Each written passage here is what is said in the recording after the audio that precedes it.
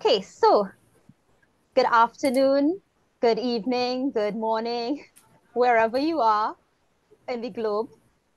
I welcome you to today's session in the WIDS Trinidad and Tobago virtual workshop series. And this is our second workshop in the series. I am Dr. Leticia Addison. I am one of your WIDS Trinidad and Tobago ambassadors. And today we have a really exciting interactive workshop planned for you. So without further ado, let's jump straight in. I will share my screen.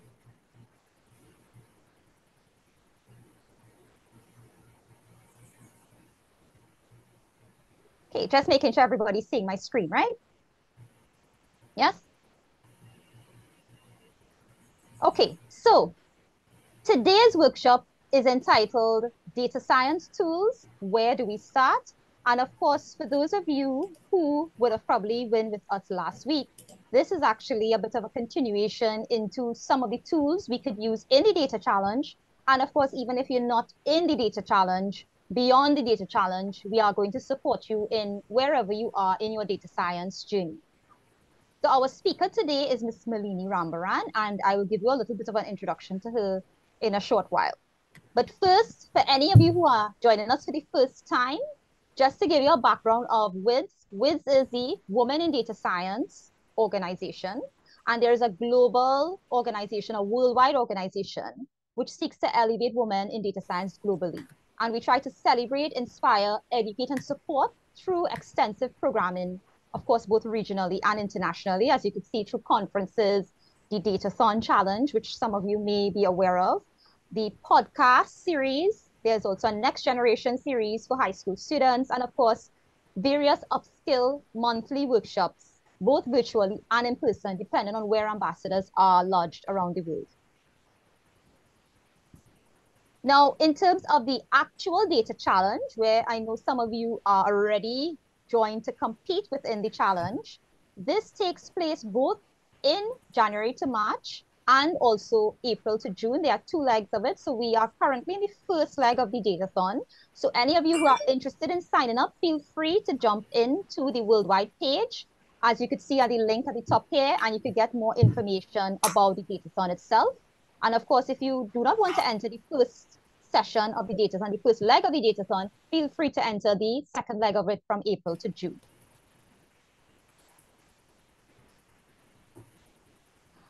Now, in terms of our workshops and regional events, we are hosting, as you um, heard me mention before, a virtual series of events. For those of you here in Trinidad, of course, at the University of the West Indies, we also have a couple in-person workshops for staff and students. But for virtual purposes, for global purposes, here is a list of our workshops that we are hosting every Saturday from 1 p.m. AST.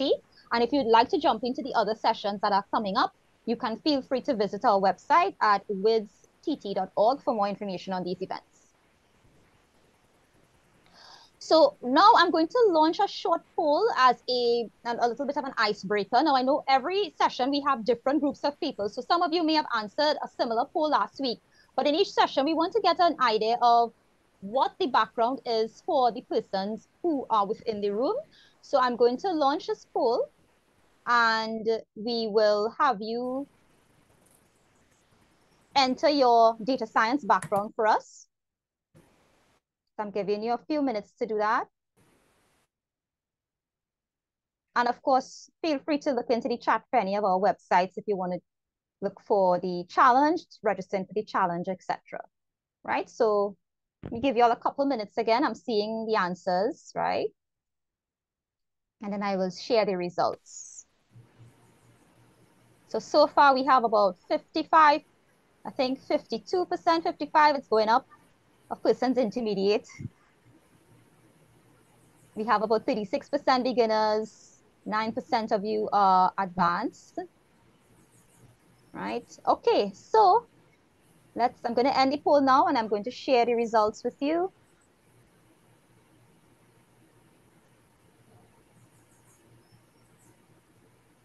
Are you seeing the results on the screen? Yes? Okay, great. So now you could see we did a little bit of a our own data science um, polling there so we could have a, an idea of how the temperature, I would like to call it, of the room is. So let's get back to our session for today. And I would like to introduce to you our speaker. So Ms. Malini Rambaran, she is a WIDS Trinidad and Tobago mentor for the 2024 Datathon. She's also a web developer at FX and a data scientist at TT Lab. So I'm going to invite Malini now to give us a little bit of her background. I will stop sharing my screen and then she can jump right into her talk. So Malini, feel free to take the floor. Okay, thank you, Dr. Addison. Hi, everyone. Welcome to the second workshop. Are you all hearing me? Yes. Yes, we are. Okay, great. So I'm a developer at WebFX, where my role is to build websites, and I have dabbled in building applications as well. We use some data analyst tools such as Google Analytics and Tag Manager. And with the use of the user's permission, we use these tags to help us understand our users so we can optimize and improve user experience. Also, I'm currently a data science student completing my master's at the University of the West Indies. This is where I got the opportunity to work with TT Lab and the Life Science Department to develop a classification algorithm to automatically detect the genus and species of plankton from images collected within the Caribbean region. So I'm going to share my presentation.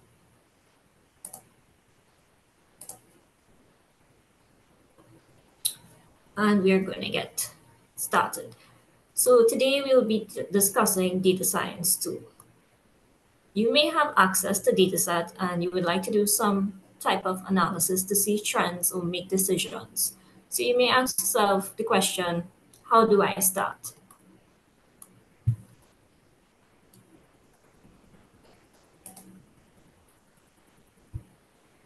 In today's agenda, we will be discussing what data types are, and then the different tools like Microsoft Excel, Google Sheets, MATLAB, IBM SPSS, R, and Python. There will also be a demonstration on the basic use of these certain tools and how to apply a few basic functions.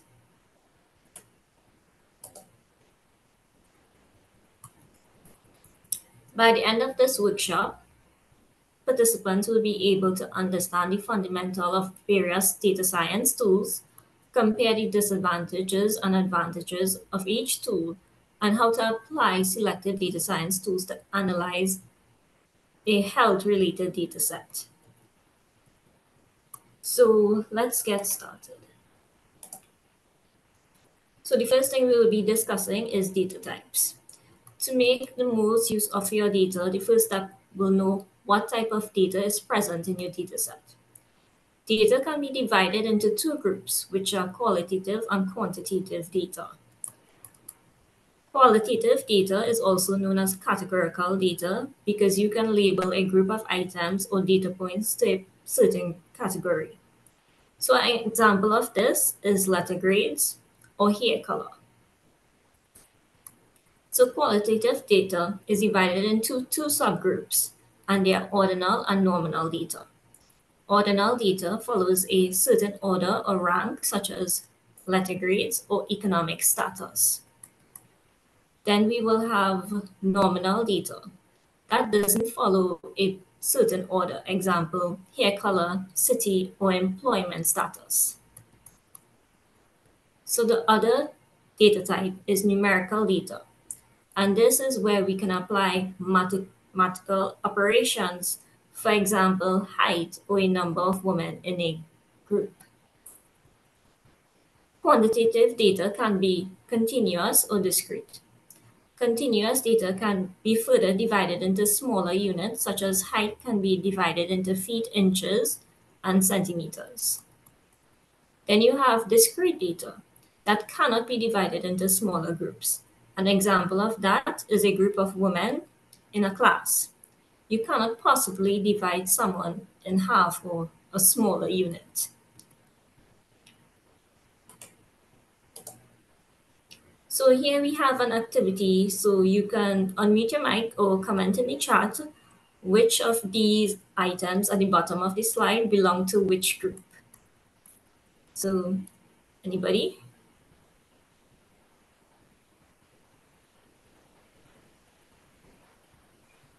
So speed of cars would be continuous. Speed of cars, yes. It will be continuous, that is correct. Anybody would like to guess which one first, second, and third will fall into which category?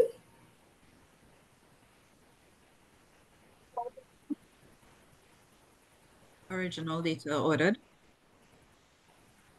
Ordinal data, yes, that's correct. So we have the number of students in a classroom.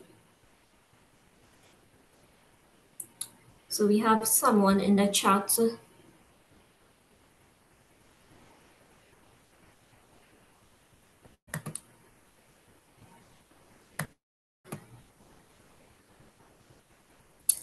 And yes, that is correct. Yes, and then we have someone said um, the number of students is discrete. Yes, that's correct. And the last one, nationality, is nominal. So we will just move on now to the next slide. And well, here shows the order.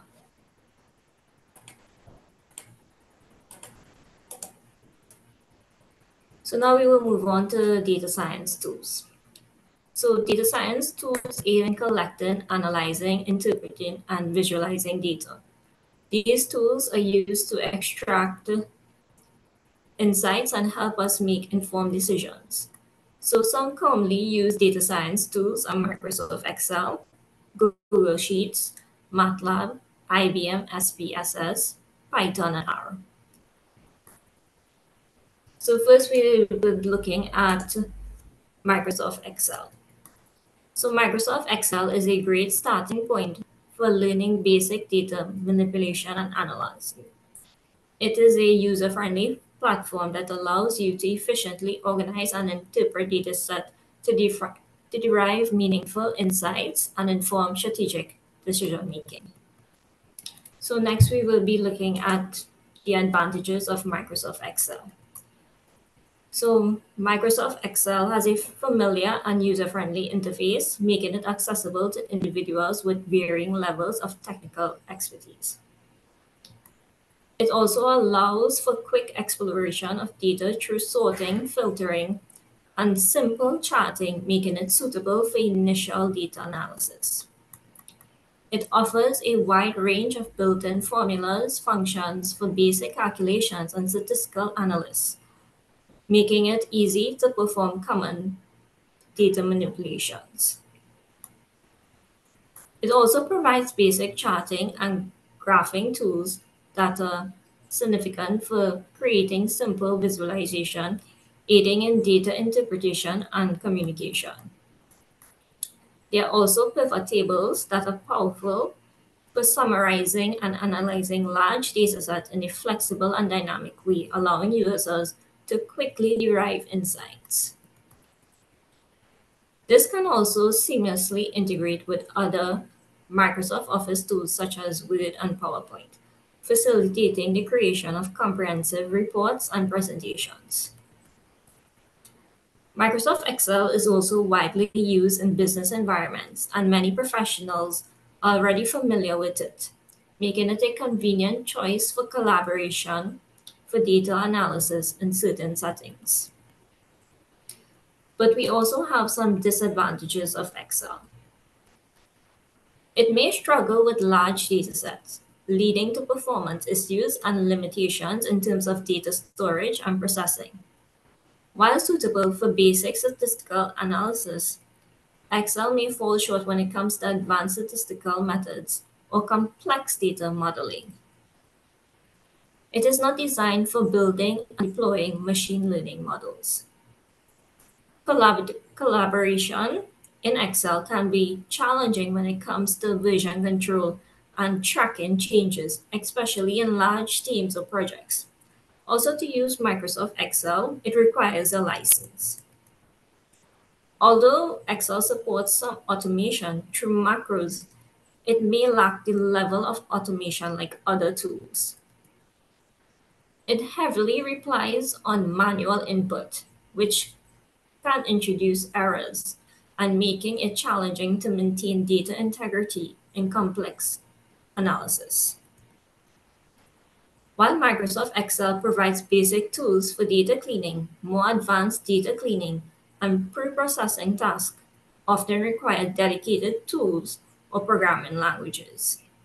So can anyone guess how many rows and columns in Excel? You can unmute your mic or just comment in the chat.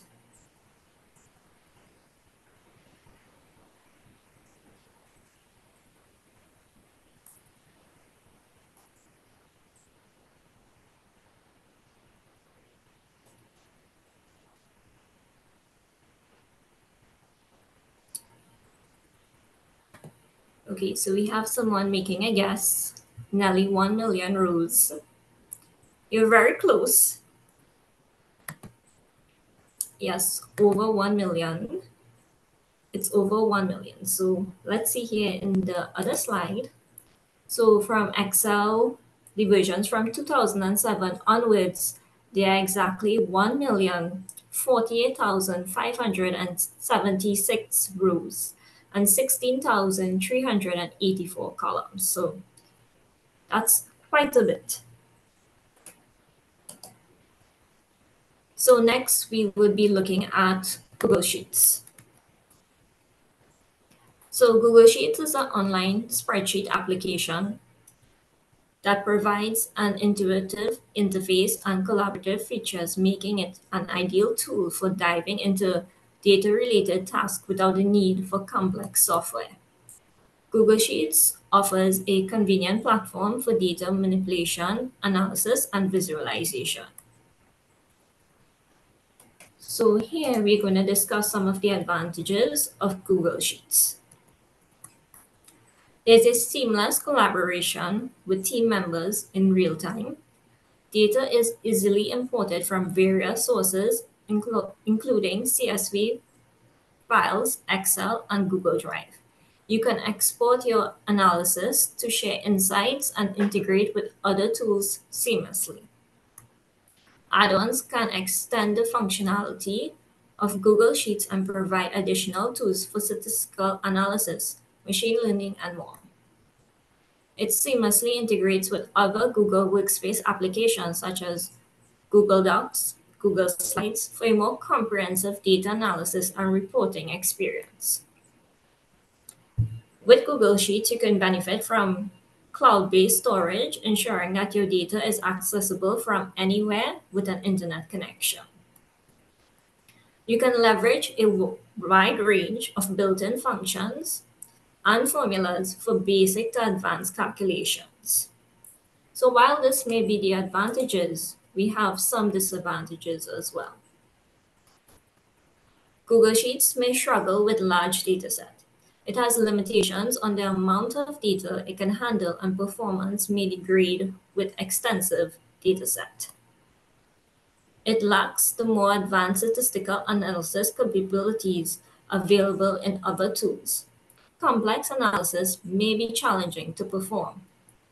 Google Sheets has scripting capabilities through Google Apps Script, but it is not as powerful or flexible as other tools integrating machine learning models or performing advanced machine learning tasks is not practical within Google Sheets. Google Sheets is a cloud-based tool, which means it depends on an internet connection. So while Google Sheets can be used offline for basic tasks, some advanced tasks or features, add-ons and integrations may not be available without an internet connection. Storing sensitive or confidential data in a cloud-based service like Google Sheets can raise security and privacy concerns. So far, we can see Microsoft Excel and Google Sheets are more for data cleaning and visualization, not so much for machine learning. So here I will just do a quick demo on Google Sheets. So first we have our CSV file that we would have gotten in the university dataset that we would be using. So this is how it looks. It's a comma separated file and you can see everything is pretty much together and separated by commas. So if you upload it on Google Sheets, this is how it would look. It would go into the columns and the first row, it will tell you the name of the columns. So if we want to look at, let's say, the different categories for payer type, what we can do, we could add filters. So I would click data, but before that, I would want to add filters to all the columns. So I would just, on my keyboard, press Control and Alt. Then I would go to data, click on create a filter. It will create a filter for all of the columns. So instead of doing it one by one, you can just do it for all. So here, if we click on the filter symptom, filter symbol next to payer type, we could see a few things. So here you could see the categories in this column. You could see there's blanks, there is commercial, medical, and Medicare Advantage. So if you want to see um, which rows are blank, you can also do a filter by condition. And you can say you want to see the rows that are empty or not empty. So let's see the rows that is empty. And then we will click OK. So at the bottom corner here, we would actually see the number of rows that are empty. So I will just quickly undo that filter. Just remove the filter. And next, we could also look at um, the BMI values as well. So I will just click Control All and create a filter. And here you could see it's continuous values, but they are blanks as well. So according to how much data is missing is how you would fill in the blanks. So it's either if it is a few data is missing, you could remove the rows.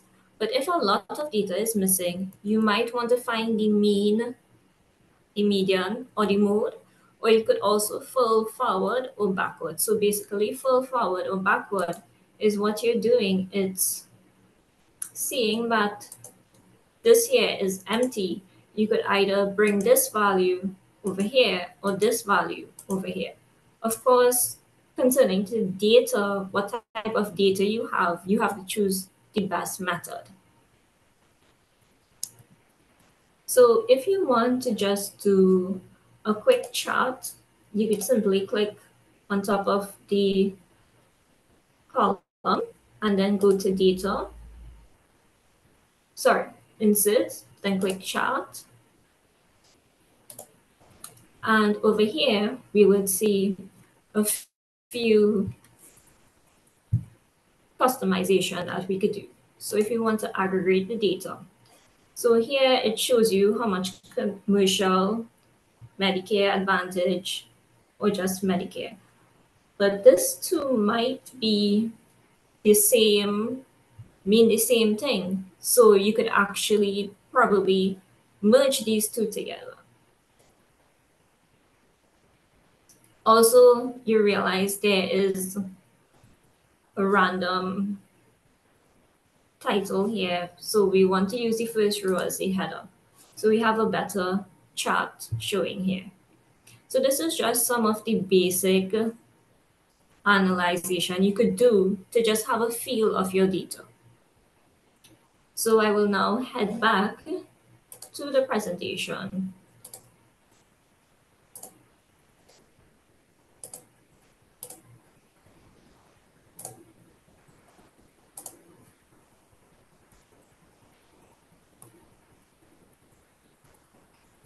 So what we're going to do now is we're going to have a look at MATLAB. So MATLAB is a powerful environment and programming language. MATLAB is a programming language for doing numerical computation. It was originally designed for solving linear algebra type problems using, using matrices. Its name is defined from Matrix Laboratory.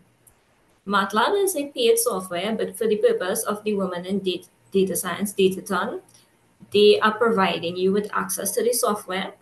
So to access the software, you could follow the link at the bottom of the slide, and you will be able to get the software.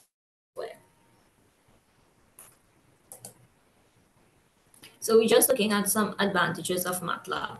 MATLAB offers a vast array of built-in functions and toolbox designed for mathematical computations, linear algebra statistics, optimization, and single processing. This extensive collection can streamline complex calculations and data analysis tasks. MATLAB syntax is user-friendly and relatively easy to learn. MATLAB provides powerful visualization tools for creating high-quality plots, graphs, and visualized representation of data. Its plotting functions allow for easy customization and creation of publication-ready figures. MATLAB offers numerous toolboxes catering to various domains such as image processing, machine learning, control systems, and more. MATLAB can easily integrate other languages and technologies. It supports languages like Python, Java, C, C++, allowing users to leverage MATLAB strengths alongside other tools if needed. MATLAB compiler enables the creation of standalone application and sharing of MATLAB-based programs with others who do not have MATLAB installed, providing an avenue for broader development. So MATLAB does have some disadvantages as well. One of those disadvantages is that it could be relatively expensive, especially for individuals or small scale use it has to be a licensed software that you have to use. MATLAB community, while significant, might not be as vast as other open source alternatives. The choice of tools often depends on the requirements of a project or the industry. MATLAB excels in certain mathematical and engineering applications. Other tools might be more suitable for different types of data analysis tasks. In some cases, MATLAB performance may be a concern, especially when dealing with computational intensive tasks. Optimizing performance might require additional effort. MATLAB has a steep learning curve compared to other data science tools. The language and environment may not be as intuitive for beginners, especially those with limited programming experience.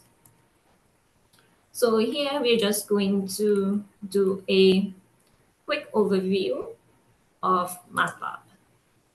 So I have mine's open already and I run everything.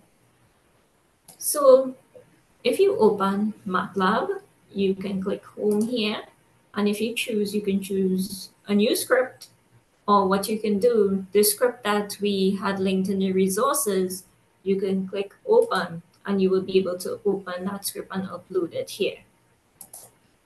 So these are just some basics of using MATLAB. So in MATLAB, the editor is where you will write and edit your code. So the editor is this here. And then to save the editor file, what you can do is click save and you will be saving it with the .m extension. So you will see editor on the top here, you click that, and then you can click save. So I will click save as, so you can see the save as the .m extension that's here. and you save it with that extension and that can be shared among your peers.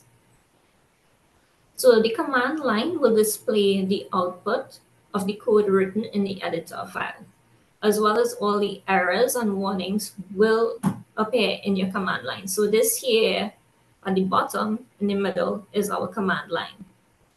So single line comments start with a percent sign and then your comment will continue for just that one line. So multiple line comments start with a percent and then a curly bracket or open curly bracket and ends with a percent sign and a closed curly bracket. To run your script in MATLAB, you could either click the run at the top here or you could click control and enter. So this data that we're using to show the basics of MATLAB is the University Edition dataset, the 2024 one. And basically what your task is to is to predict the treatment period for each row given the characteristic of the patient, treatment, and related social and economic predictors.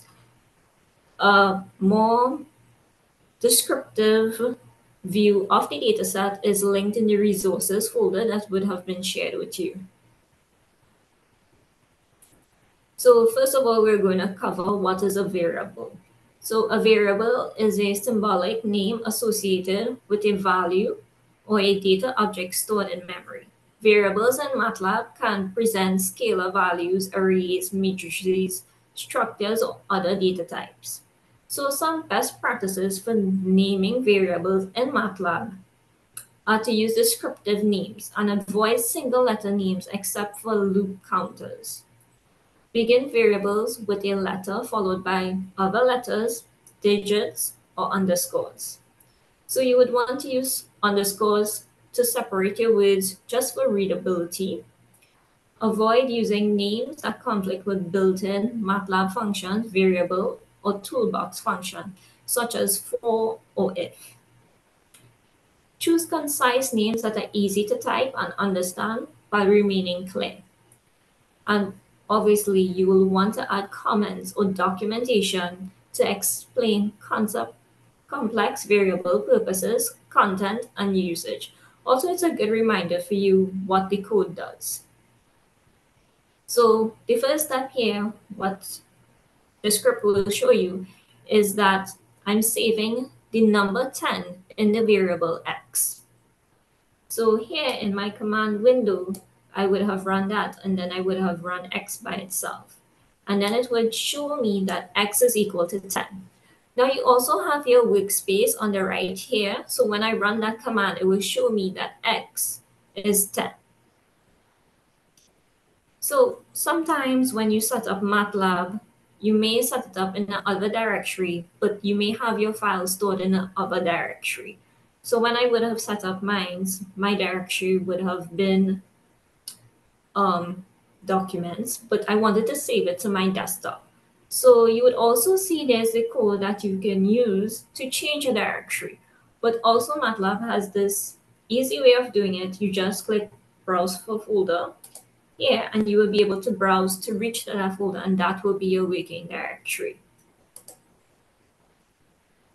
So in MATLAB, it primarily uses functions and toolboxes. So what functions are is that in MATLAB, it has a vast collection of built-in functions that cover a wide range of mathematical and statistical signal processing or other computation tasks. These functions are available by default and can be directly called within MATLAB scripts or from, or from the command line. What toolboxes do is that in MATLAB, it extends its functionality through toolboxes, which are collections of specialized functions, algorithms, and interactive tools designed for certain domains or applications. For example, MATLAB offers toolboxes for signal processing, image processing, optimization, control systems, and more. Users can purchase license the additional toolboxes that enhance MATLAB capabilities according to their needs. So you can see my path is set here and it leads to my train CSV file. So what I would want to do now is to load my CSV file. So here's a command to load that train CSV file into the variable train data. So here's my command line. You would see that command. Then to read it, you would see that I ran train, train data. So what train the data does is that it just shows me a little snippet of the data that I have exported, imported. Also in the workspace, you will see train data here. And you would also see the number of rows and columns. So what I can do, I can just click here and I will just expand it here. And you would see it's a very nice format into a table. And from just looking at this, you can see we have a lot of blank data. Now, if it is that a column has like a lot, a lot of blank data or missing values, you can just remove those columns. As well as we can see here in this column BMI, we have NAN, which is missing values as well. So I will just head back to my editor. And this here was just some code for the number of rows and columns. Even though we see it in our workspace, you can have it appear in your command window as well. And we can see when that command is run that it prints out here. So data types. So in MATLAB, you would see for this data set that you have double that represents decimal numbers or whole numbers as well. Then you have character vector is a one-dimensional array of characters or string. In MATLAB, it can represent text data such as words, sentences, or individual characters. So what I'm going to do is that I run summary train data. So if you have a look at the command window here, you can see the data type is double. And then you would see you have min, median, and max. And also you will have the number of missing values. So min is obviously the smallest value median is the middle value of a sorted data set, and max is the highest value.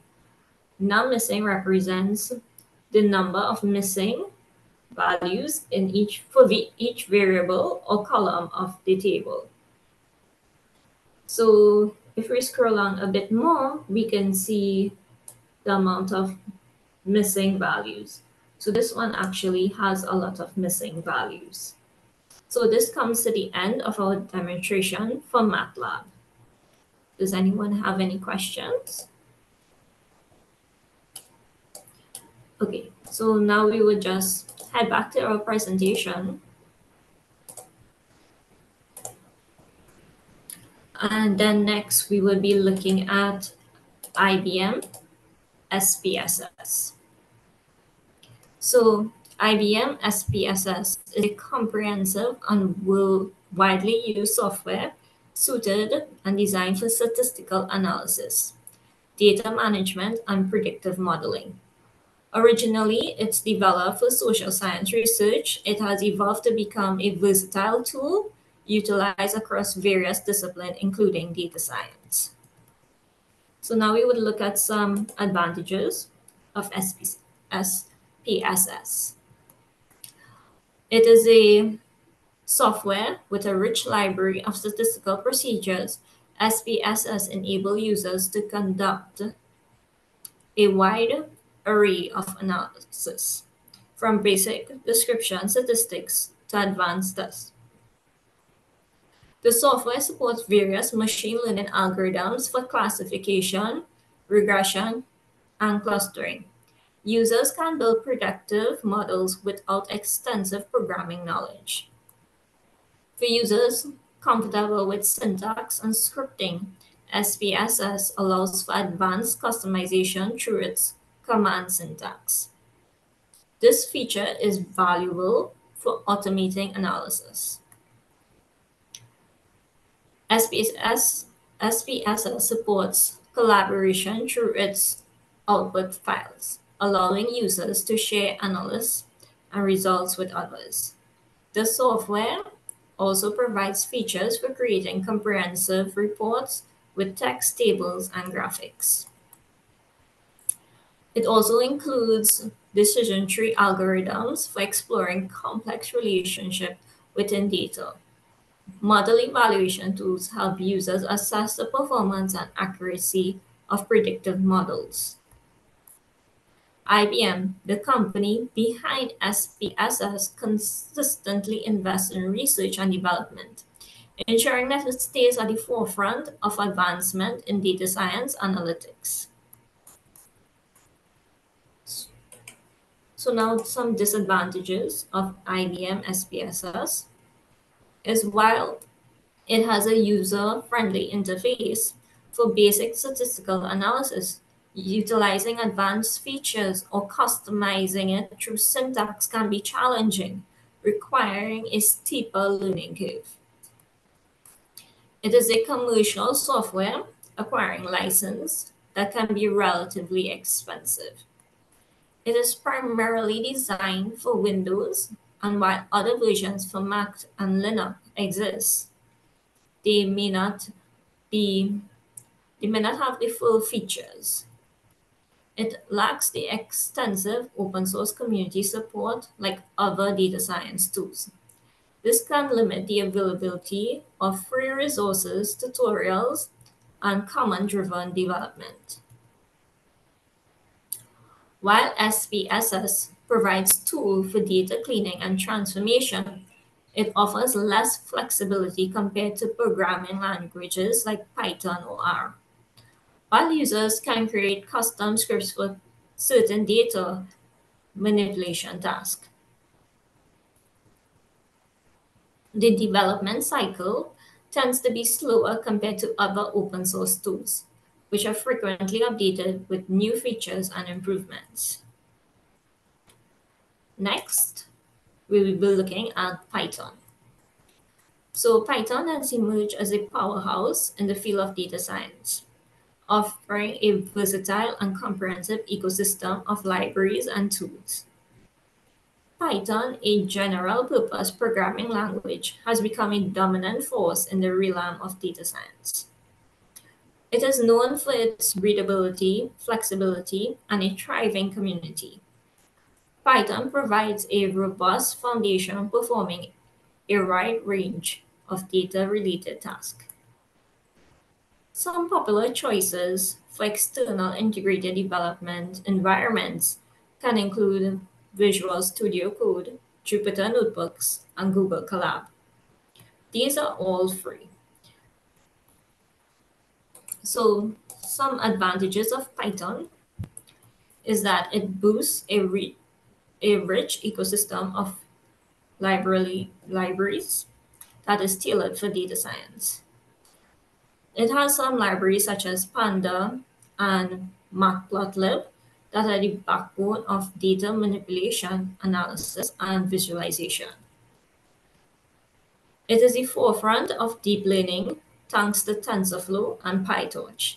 These frameworks enable the creation and training of neural networks for advanced machine learning algorithms. It is an open source software that fosters community driven development.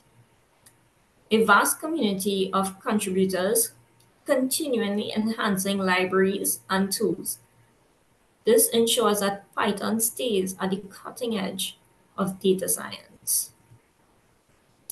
Its popularity has led to a wealth of online resources, tutorials, and documentation. Whether you're just a beginner or an expert, you will find abundant support as you navigate your Python data science analysis. Python seamlessly integrates with big data technologies such as Apache Spark and Hadoop. while allowing users to scale their data science workflow to handle massive data sets. Python is widely accepted in the industry from startups to large enterprises, making it a valuable skill for professionals entering the field of data science. Here we would look at some disadvantages of Python. One significant disadvantage of Python is its memory consumption. Python dynamic nature means it consumes more memory than other languages, which can be an issue when dealing with large datasets or applications where memory efficiency is crucial. Since Python code is not compiled beforehand, some errors only become apparent during execution. This feature can lead to longer debugging times compared to other languages. The speed of Python is another area where it falls behind other languages. Python's execution speed can be slower compared to other languages like C or Java. This slow execution can be a limiting factor for applications that require real-time responsive or high performance. So now we are just going to do a demo on Python. Um, I believe Dr. Addison will submit the link to the Google Colab and as well as it's linked in the resources. So this here is Google Colab. I can probably make this a bit bigger.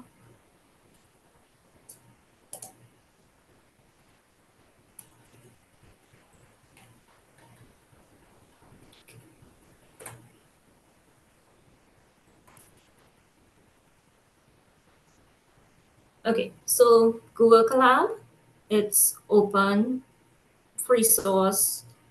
It is online, so it's shareable. Multiple people can work on it at the same time. So Google Colab allows you to write, run, and share Python code in your browser.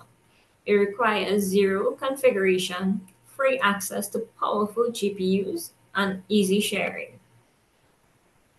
So some basics in Google Colab. So Google Colab Notebook consists of cells that contain either text or code.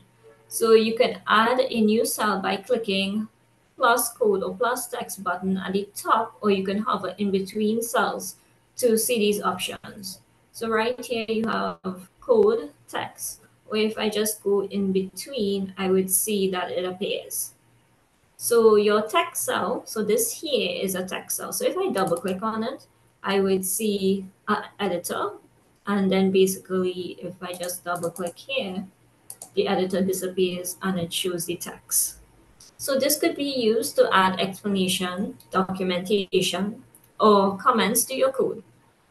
Code cells are using for writing and executing Python code. So to execute your code, basically what you can do is on the side here, you just click on this play button and it executes. So here we can see that we want to print hello world. So what you do, you type print, that is the function, and in between the brackets, you type hello world. And it appears at the bottom here. Also, you can just use shift and enter and it will run. So Google Colab automatically saves your notebook to your Google Drive. However, you can click File at the top here and then choose Save to force a manual save. So in Google Colab, we have libraries and dependency. So Google Colab comes with many popular Python libraries pre-installed such as Num NumPy, Seaborn, pandas. However, if you need additional libraries, you could install them using the import command. So at the bottom here, we would see that I would have used some import commands. So these were pre-installed, but what I wanted to do was save them as aliases. So basically, these libraries are important for various tasks related to data manipulation, visualization, machine learning, model building, and pre-processing. It provides the essential tools and the functionality to streamline data analysis and machine learning workflow. So as I said, these libraries can be given aliases, which makes it easy to access functions and methods. So what I'm basically doing here is that I'm saving the Python library as PD. So throughout my notebook, I'll be referencing this library as PD. And as mentioned before, you have variables. So variables is a symbolic name that represents a stored value in the computer's memory. It allows you to store and manipulate data in the program. So some naming conventions in Python is that you it can consist of letters, both upper and lower, numbers and underscores. It must start with a letter, either uppercase or lowercase, but I prefer lowercase. Variable names are case sensitive. So here you have two different versions of myvar. You can see that the M is common first, and then it's capital in the other one. So that means it's different. And variables cannot be the same name as Python keywords or reserved words. So some example of these are if, for, def, and some best practices is to use descriptive names to reflect the purpose or content of the variable. You can use lowercase letters for variable names to improve readability and consistency. You can also use underscores to separate words and variable names to improve readability. And we have an example here, snake case. So here we have, we want to store five in a variable x. And to read that value of x, we just run x by itself. And we can see here that 5 is stored in x. So this script is pre-run, but you can go ahead and run it. If you're having any issues, you can let us know by commenting in the chat or just putting on your mic and letting us know. So as well as not only numbers, but you can also store strings or text. So what I wanted to store was John and you can see it's in quotation marks. And then I read it with just running name, and you can see John was saved the name. So we'll be using the same data set throughout this workshop, which is the University Edition 2024 data set. So here I would just have a short description. If you choose to store your data in your Google Drive, you could also refer back to workshop one, where they actually take you through storing that file in your drive and mounting it to be processed in your Google Colab. But I prefer having my file on my desktop. So you could upload your files from your local system to the current directory into your Google Colab environment. But the file that we will be using, because there's a train file and there's a task file. So we'll be using the train file first. And the dataset in this file is used to train the model parameters to adjust the initial settings to make accurate predictions. During this phase, the model learns from patterns and relationships presented in the data. So if you have your file stored on your desktop and you want to import it, you can use this command here. Now, when you run this command, you will see choose file. So you simply click choose file and you would see that you can go to your desktop if you have it saved on downloads or documents and you could choose the file and click OK and it imports. It also tells you the percentage depending on how much data is in the file, it might take a long time. So it comes in handy. So now that I have uploaded my file, I want to load my dataset into a data frame. Data frames are used to store and manipulate tabular data. It is a two-dimensional structure where data is organized in rows and columns. So for this here, I would like train data to be the name of my data frame that will store my data that is in my CSV file. So the name of my variable is here and PD that what I mentioned earlier on is the pandas library. And what I'm doing, I'm going to use breed CSV. So if you hover over it, it does tell you, give you a little bit of description as to what it is, which is very helpful, especially for beginners. And then in here in the brackets, I have the name of my file. So I want to make sure my data is imported correctly. So I just want to have a glimpse of the few rows in my data frame. And to do that, I would use the print function. I will pass my data frame dot head. And once I run this code, I will see my dataset appear. So this just basically basically gives you like the first five lines of your dataset. Now just looking at this here, it doesn't show you all because you can see it's just five rows and 83 columns, but this definitely is not 83 columns. You can see these dots here is where they just left out some. But I can see here BMI that we had saw earlier on has some missing values. And then you can also see which of these columns are numeric and which has characters in them. So this definitely doesn't tell you how many rules, it just tells you five rules. But sometimes in the dataset, in the description, they will tell you how much rules are in the dataset. And to make sure all is imported, we can run this command here, which is print train data.shape. And here we can see how many rows and columns. So this here is imported correctly. So now we will move on to data types. So in Python, we have numeric. So numeric can be integers, which are positive and negative whole values. Then we have floating point numbers that are positive or negative whole numbers with a decimal point, meaning they can represent fractions of numbers. Then you have objects. This can vary in type. It can either be string or string and integer in a mix.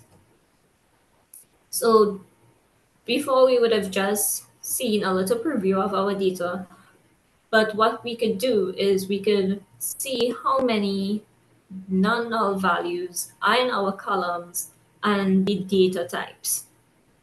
So to do that, we just use the info function method in pandas that is used to print a concise summary of the data type, including information about data types, non-null values, and the memory usage. So here we can see patient ID is an integer and the 64 is 64 bits. Patient race is an object. And then here we have BMI, which is a float. Also, we can see here the amount of non-null values. So we can see these two, 14 and 15, have very little non-null values. And they are objects. So what we're going to do next is that we want some basic statistics of the training data. So to do that, we will have this describe function here. And basically what that is going to show us is the count, so the number of non-null values in each column, the mean, which is the average of the values in that column, STD, which is the standard deviation of the values in each column, and then the minimum value, which is the minimum value in that the smallest value in that column. Also, you will see 25%, 15%, 75%. So what that means, that is the quartiles of the values in each column. So the 25th, the 25th percentile represents the value below which 25% of the data falls, while same for the 75 percentile represents the value of these 75% of data.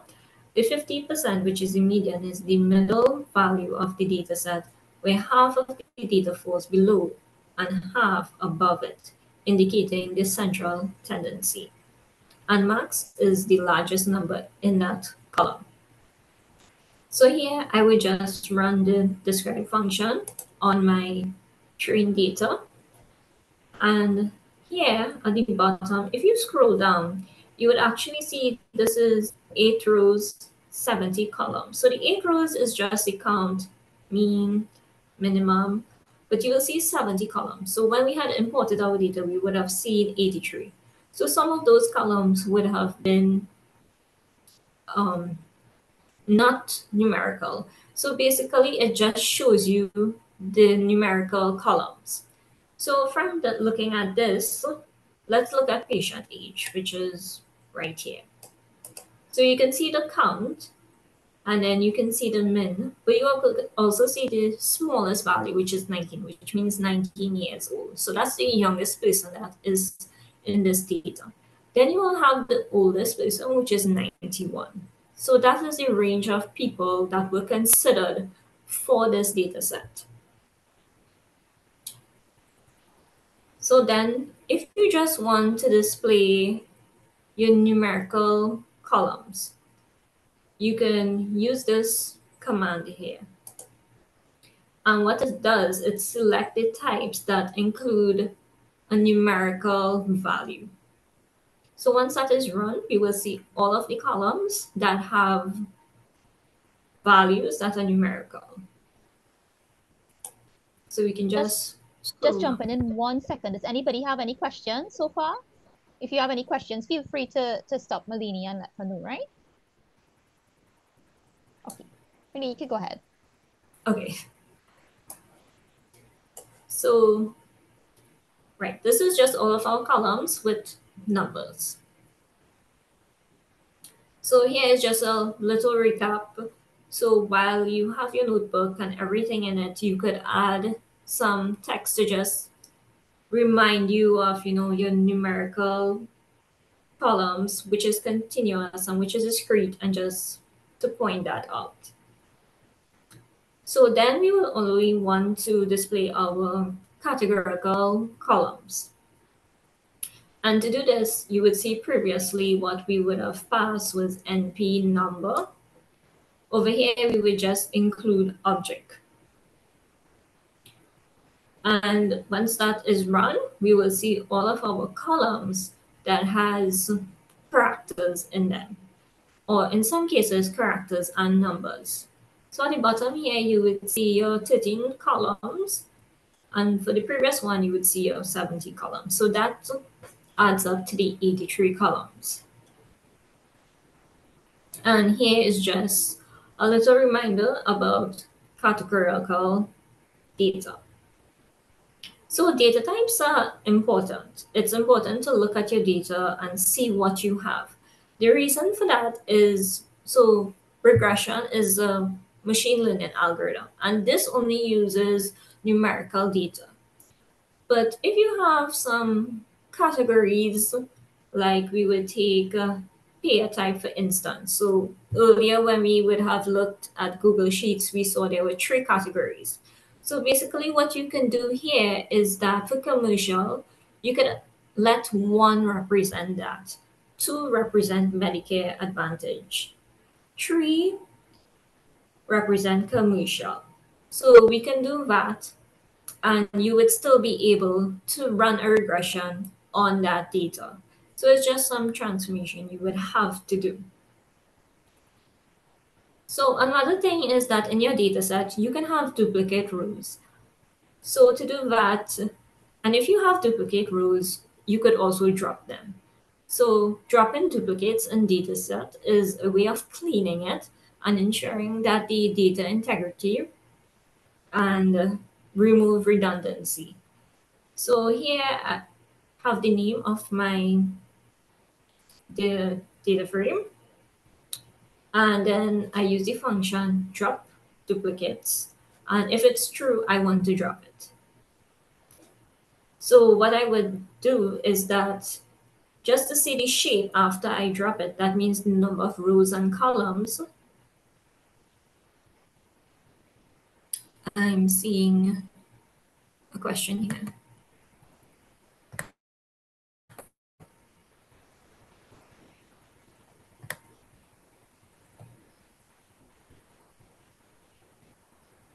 So NP number, I'm just going to scroll up here, is because I just want the columns that are numeric. I saw Videsh would have responded. So I hope you understand. If you don't, you can just put on your mic or respond in the chat.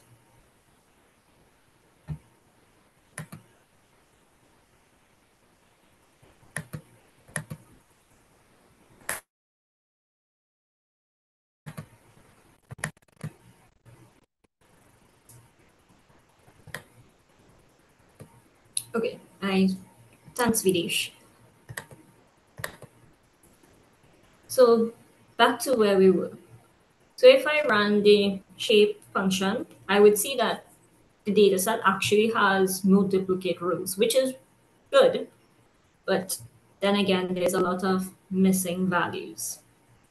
So missing values and knowing the amount of missing values in a dataset is crucial for assessing data quality, guiding pre-processing decisions, ensuring the model performance, preserving statistical validity, optimizing resource allocation, and maintaining transparency in data reporting and analysis. So here is how we're going to find our missing amount of missing data in each column. So I would use the variable name missing values. And what I'm going to do is train data where it is null. I'm going to add the sum of it. So if all of the rows in that column, once it's null, it adds it. So it counts it like one, two, three, and whatnot. And then I want to print the columns and how much missing data. So here we would have that. And you can see some columns are actually missing quite a lot. So over here, we would see the number of rows and columns.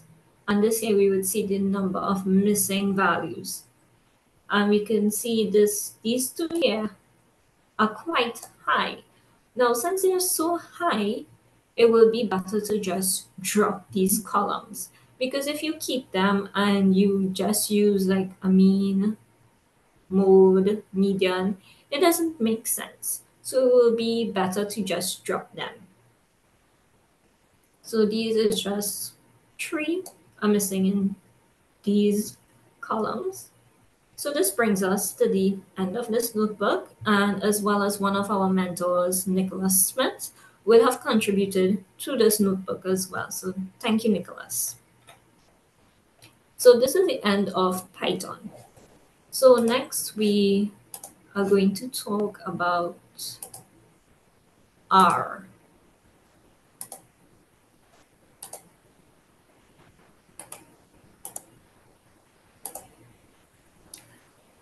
So R is cherished for its robust statistical capabilities, extensive libraries, and vibrant community.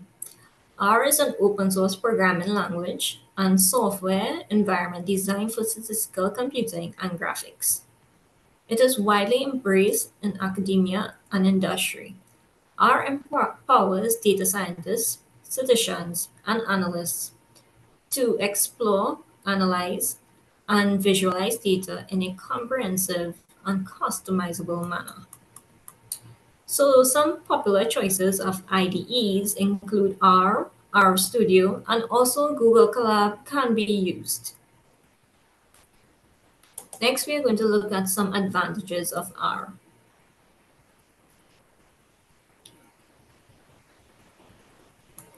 So R the strengths of R lies in, in its extensive collaboration of package, collection of package. Packages such as ggplot2 for data visualization and caret for machine learning exemplify the diverse toolkit available for users. R interfaces with big data technologies like Apache Spark and Hadoop, allowing data scientists to analyze and visualize large datasets without compromising performance. R is an open source nature that encourages users to contribute to its development. This philosophy ensures that the language evolves in response to emerging trends and challenges in data science. R's flexibility allows users to adapt to its diverse tasks and analysis. Its extendability permits the development of custom functions and packages tailored to certain needs. R has a strong presence in research and academia as well. Many statistical and research oriented publications use R for their analysis, contributing to its credibility in the, in the scientific communities. R is compatible with multiple operating systems, including Windows, macOS, and Linux, making it accessible to a broader audience. So some disadvantages of R. R is primarily designed for statistical analysis and may be less versatile for general purpose programming tasks or applications outside of statistical domain. Python, for example, is more considered versatile for a broader range of tasks. Our graphical user interface may be less user-friendly and feature-rich compared to some other tools. While RStudio is a popular IDE for R, users may find GUI-based tools and other languages more intuitive. While R is widely used in academia and certain industries, its adaptation may be less permanent in sectors while where other languages like Python are more prevalent.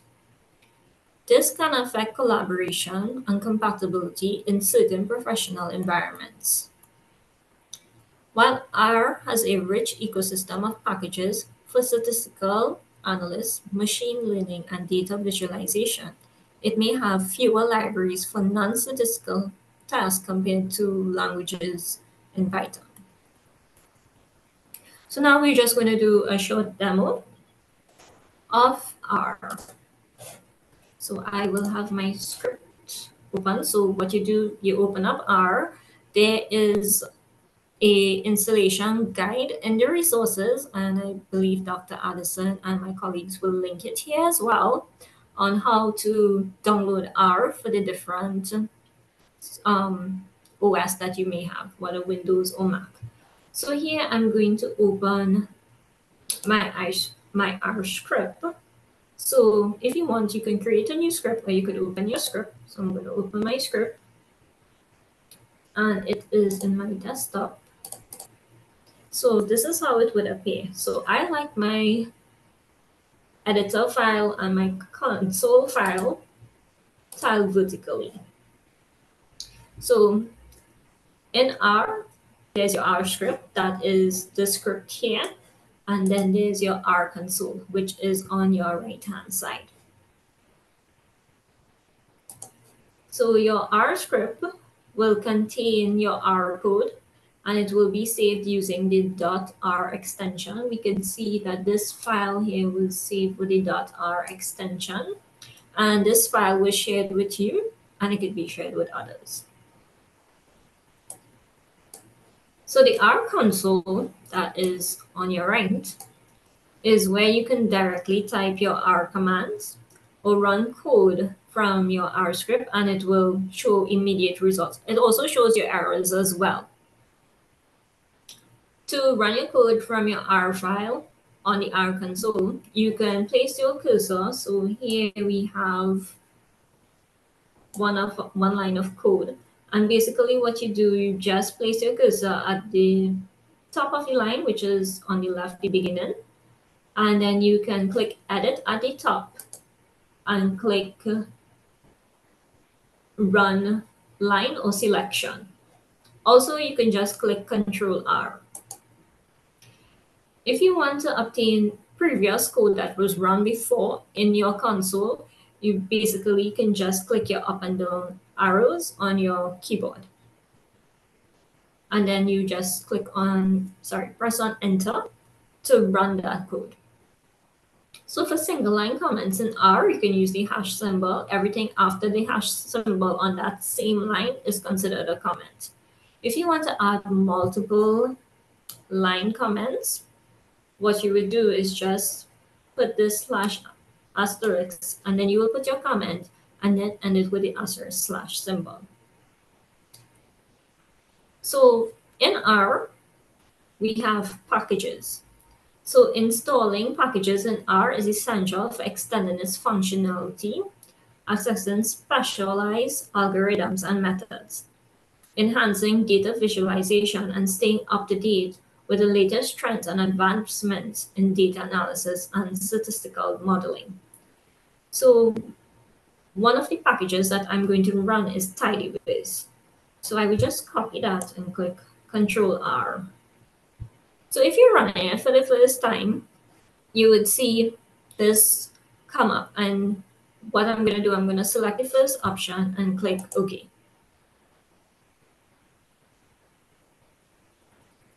So here as well, you can see that it's telling you where it's downloaded. So Tidyverse is basically, it entails ggplot2 that helps you with your graphs and it have other functionality and packages as well. So first, we're going to discuss how to create a variable and the naming conventions in R. So basically, it's very similar. In R, it your variables can consist of letters, numbers, underscores, and periods. It must start with a letter, either uppercase or lowercase. Variable names are case sensitive. Also, variables cannot be the same as reserved keywords or functions of R. And also we have our best practices, which is use descriptive names that reflect the purpose or content of the variable. Avoid using special characters or symbols in the variable names, except for underscores and periods. You can use lowercase letters for variable names to improve the readability and consistency. So here you would notice that you, there's two ways you can store numbers or even um, characters to a variable. So the first way here, we have an arrow and then a dash. And at the bottom here, we have the equal sign. So what I'm going to do, I'm just going to run this first two. And in my command line, I would see that the code appears and then the results appears. So it's 18, that's correct. And the equal signs as well does the same thing. So either way, I prefer the first way. And we are going to use the same university edition dataset. And in this dataset, we're going to use the train dataset file because that is where we're going to have a look at our data, clean our data first, and analyze it and develop our machine learning model. Hi, Malini. So Sorry to interrupt you one second. Is it possible for you to make this a little larger so they can see Um, let me see. Oh, it's too small. it's a little small? But if not, that's okay. We have the script that we shared with you all in the resources. Yeah, I'm not. Maybe you could um, check check GUI preferences when you click on edit. And see if you can increase the font size there to about 14. See, right, right, right, cursor. Yes. Oh. Right, I think it's on 10. I usually have to do this in my classes as well because I know the students tell me it's looking a little small. So I said, let me see. Let me know Oh. if you're, yes, is it better? Yeah? I know the script, but you wouldn't be able to see it um as much on the console, but you can manipulate it on the script file. Okay, So that's just a little is- tip for any of you, right? So you can see it larger there. Okay, great. Okay, sorry about that. Go ahead. Mhm. Hide this here at the bottom. Oh no, that's fine. Thanks. No problem. Right. So now that we have learned about variables, what we're going to do, we're going to import our data. So knowing where your working directory is is important because you have to make sure your working directory is correct in order to access your files. So if you want to view your working directory, you just run this line of code, get wd so you can actually see that mine is my PC in my documents, but my file is saved on my desktop. To change it, I'm going to use setwd. And now it's set to my desktop. So in R as well, we have data frame that is used to save our tabular data in the form of rows and columns. My data frame is going to be train data because I'm using the train data set. And what I'm going to do, I'm going to read that file. And in the parentheses here, I'm going to pass the name of that file, which is train.csv. So I'm just going to highlight and run. And you can see in the console that it was run. So again, you want to make sure your entire data set is im- imported so control R, and here I would see all of my columns.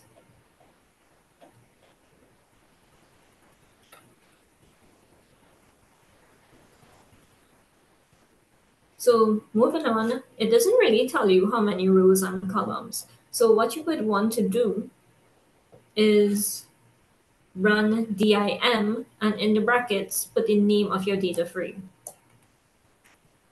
And here we can see that all of the rows and all of the columns was imported. So in R, there's numeric data types. You have integers that are positive and negative whole values. And then you have your numbers that are integers and decimal values. As well as you have characters that represent a string of characters such as name, labels, and textual description. As well, you have logical data types, and it's used to store binary values such as true and false. So what I'm going to do is I'm going to run this command to show the name of my columns. And then what I'm going to do is run S apply to see the data types of each column. So yeah, in my console, you could see patient IDs, integer, patient state is character, patient gender is logical. Also, if you would have had an in-depth look at patient gender, you would see that it only has F. So that's what they mean by logical. And as well as it can be male as well. So it's either male or female. So here I would want to run str train data. And this is more a readable version of what we would have just done. So it tells you the column name, it tells you the data type, and it gives you a little preview of the data. So it's more readable than the top here. And it also tells you the number of observations rows and 83 variables. So we have our num, we have our characters, we have our integers, and we have our logical data types. So the next thing we want to look at is the count of missing values in this data set. So we are going to run the next two lines of code. And what this tells you is true or false. So this tells you how much missing data you have and how much data you have. So the true is the count of the missing values and the false is the number of non-missing values. So when you have a look here, it looks pretty small compared to the number of false. So next we would want to look at a summary of our train data. So here, scroll up a bit. And what this will tell you is the smallest value. So let's take um, let's take BMI for. So your smallest value is 14. Then you have your first quartile, which represents the median of the lower half of the data set. Then you have the median. Then you have your mean. And then you have your third quartile, which is the median of the upper half of the data set. Then you have your maximum value, and then you have the amount of missing values, which is your NA's.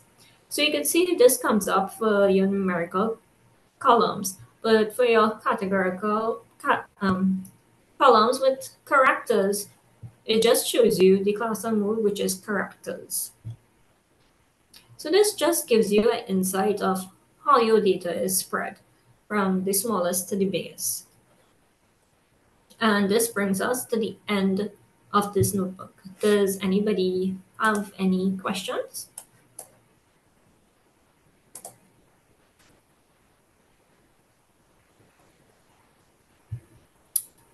I am seeing a comment in the chat.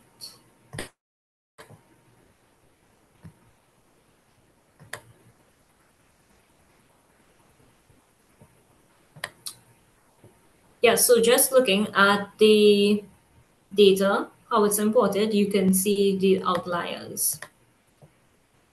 So that is a great observation. So I had previously mentioned this, um, especially for MATLAB.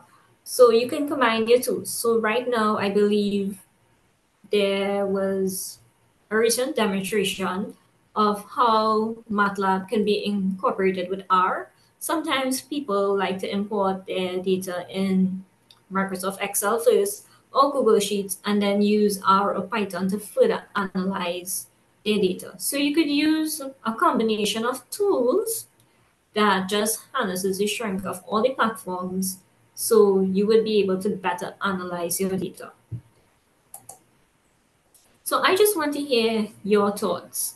So those of you who might be beginners or pros, which data science tools do you prefer? So I would go first.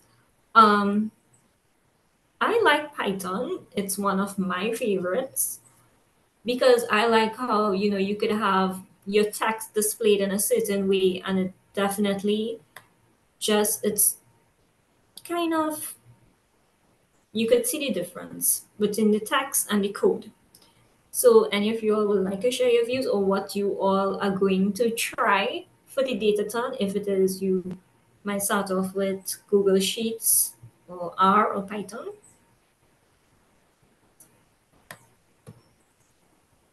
Yes, let us know in the chat. And any tools that you actually are accustomed to using, either way, you could let us know as well, because I know we have a mixed audience.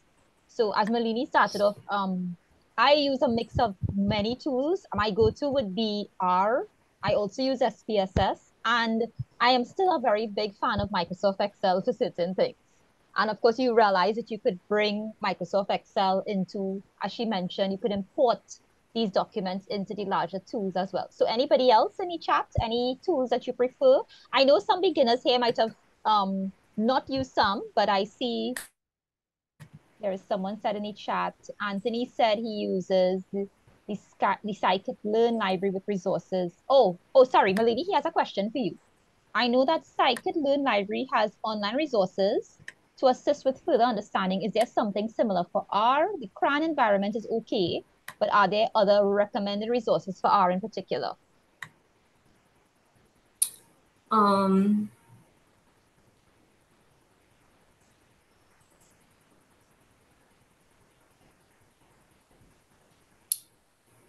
I'm not uh, sure. Um, I don't know, Videsh, if you want to chime in here. I could assist with this part in terms of Anthony, I just wanted to know. So for instance, in CRAN, the CRAN network, for those of you who may not be aware, that's a comprehensive R archive network. There are a number of libraries and packages there. So what happens is you have some base packages there. They would have had some the persons would have created over time, but there are also updated packages that are usually sometimes floating around. Like for instance, most recently, somebody might have created one for bioinformatics and they may have something like that there. I don't know if, if it's uploaded into the CRAN network, if that's what your question is, but there are a lot of extra packages and libraries that people create. Um, so if that's what you're asking, then I would say aside from CRAN, sometimes you could check the forums as well. My only thing with checking forums is sometimes I'm not certain, you know, if usually it's more legitimate when you go to the CRAN network. Um, sometimes, you know, if it has, I don't know, have viruses and those things, if you're downloading the the actual package that way. Um, but yes, the validity, yes, yeah. So um, I would always start with the CRAN network first. And of course, you could feel free, whatever level you are, to actually write your own packager. Um, I've seen PhD students who have written packages as part of their PhD um, using R. So if any of the, you are in here and considering such, that's an opportunity for you depending on how unique it is based on whatever work you're doing as well. So I hope that answers your question, Anthony. And if not, we can always, um, yeah, sure. We can always link you some further resources.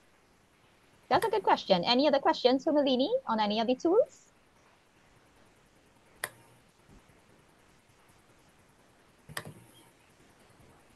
Okay, so I mean, any of you have any other questions? And in the meantime, we can launch a poll. Sorry, go ahead, Malini.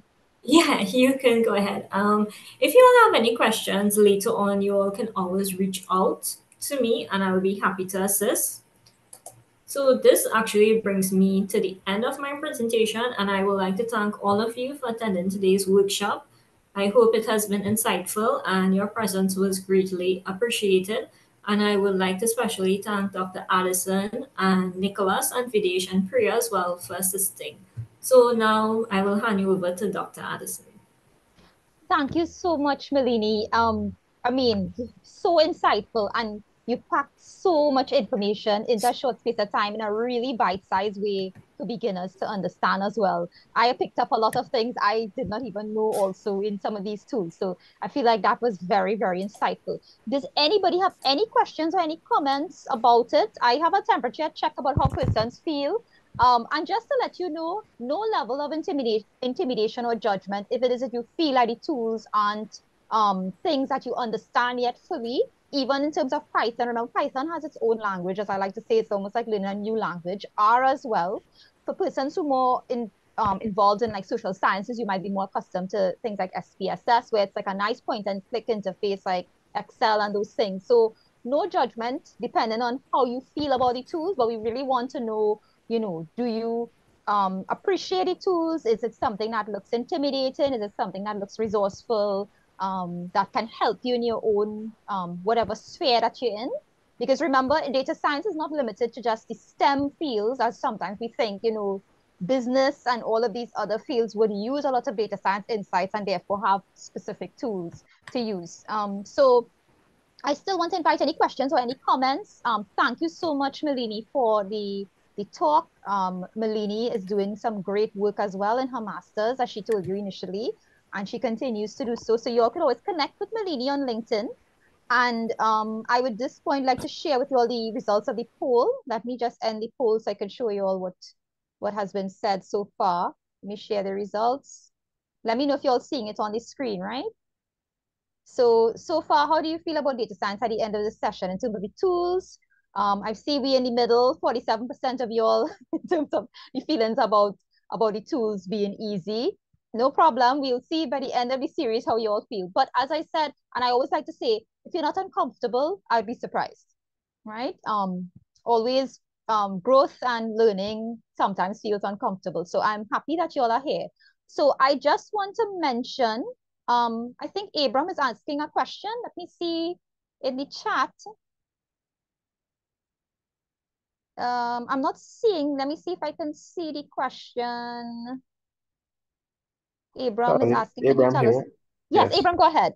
Yes. I'm asking about the session on February 6th at 6.30. I wanted to know a bit more about that session, um, the medium it will take, etc. Okay, sure. Let me um let me mention to those of you who actually want to be involved in the Datathon, no matter where you are located in the world, if you're interested in some of our sessions, or we'll be having like a group session to talk about the data set. We have different teams. So we have a session on Tuesday at 6.30 p.m. AST. You can email us. I'll let Priya drop the Gmail in the um the email address in the chat with ttgroup at gmail.com. If you're interested in being a part of the Datathon, and you would like to have like teammates and that sort of thing, or you just want to generally just sit down and talk to us about the data set, we'll have our, some of our mentors in that session. Feel free to join us on Tuesday. So Abram, if you're in a team or even if you're not in a team, we like to do it in a community aspect where we're all talking about what's going on in the data set, how to tackle it in terms of the, the challenge, etc. So that session will be like an open team formation session even if you're not in um sorry even if in your team you can join and we could always just um have a chat about you know how the data is looking um even self for beginners where do you start in terms of how do you analyze it um so feel free to reach out if you'd like to join that session so Okay, thank you. And so that will be online as well? That will be online that's virtual so once you email us if you're interested we'll send you the link for that right Thank you. Um, and then let me just throw in one more thing. Um, I'll just share my screen just to remind you all, for those of you who would like to continue with our session. So of course, you got some really great takeaways today from Malini in terms of using the data science tools for important deductions in your different fields. And of course, the tool depends on the nature of the data. Now, remember that some of them, as she mentioned, may have advantages and disadvantages. You know, some of them have licenses, etc. Um, for the Datathon challenge, you would find a lot of the times you'll be using Python and R. But there's also a crossover with Python and MATLAB, as she mentioned, and also R and MATLAB for those of you who probably use MATLAB under the university license. SPSS for social scientists who use that a lot. There's also a version of it. There are different packages that you could use to um, in terms of data science. But you may find yourself with this type of competition wanting to use um, some of the other tools that we mentioned initially. All the resources are in the folder. So for you, for those of you who registered, the resources are in the folder, and we will post the recording as well on YouTube.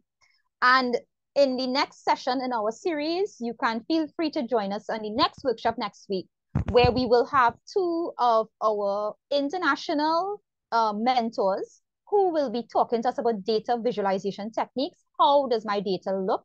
And they will go in more in depth. So you see, Malini gave you all the foundation in terms of the basics. And I really, really was very pleased with how she laid that out in a very easy to understand format. So once you look into that, do that as your homework. Then you come into our next session. It'll be easy for you to follow on in terms of looking at the data now in a visual sense. So for instance, how does the data look overall? I see Anthony had mentioned the BMI seems to have an outlier and these types of things. So you have to be intrigued and curious now. So it's going to pique your curiosity now. And you could see our next um, follow-up workshops after that. You all could also register for those one time as well. And thank you so much for joining us. I know this is usually a two-hour session, but we usually complete in 90 minutes. And if you all have any questions, want to discuss anything about mentors, feel free to let us know. But connect with us on LinkedIn for updates. Um, you can visit our website and also subscribe to our YouTube channel so you could get more information um, on the past recordings and workshops.